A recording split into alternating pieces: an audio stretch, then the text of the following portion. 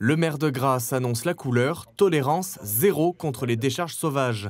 De plus en plus nombreuses ces dernières années dans la commune, 59% de plus entre 2018 et 2020. Effectivement, le ton monte aujourd'hui avec euh, une démarche d'une tolérance zéro qui euh, est affichée.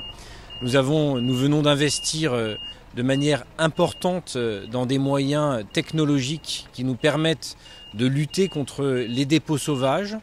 On a ouvert les déchetteries de manière supplémentaire, euh, y compris le samedi. Six jours sur sept, les déchetteries sont ouvertes et gratuites. Il n'y a pas de raison euh, que des personnes viennent au pied des, des points d'apport volontaires, au pied des poubelles, jeter tout et n'importe quoi. La brigade de l'environnement est ainsi dotée de nouveaux matériels comme des appareils photo. Cachés, ils permettent d'immortaliser l'incivilité de jour comme de nuit.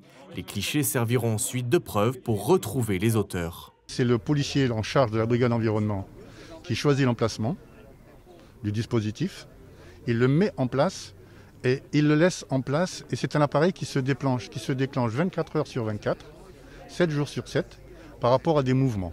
Et le policier euh, avec une nacelle vient, récupère la carte mémoire, l'amène au poste de police et vérifie une par une les photos qui ont été prises par l'appareil.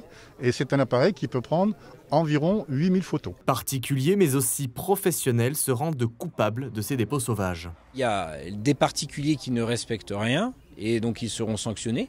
Et des professionnels qui, euh, chose encore plus choquante, euh, arrivent à facturer leurs clients pour l'élimination des déchets et plutôt que de le payer à la déchetterie, euh, le jettent dans le domaine public, dans la nature, dans un fossé, dans un parking ici où nous sommes. Nous avons eu euh, des professionnels qui sont venus béner des, des bennes de gravats. Ils ont été attrapés par la police municipale, par les motards, que je félicite d'ailleurs. Et ils ont pris une amende, ces professionnels, de 1500 euros. Les amendes vont de 450 à 1500 euros. Moins cher, des déchetteries permettent de se débarrasser légalement de ces déchets.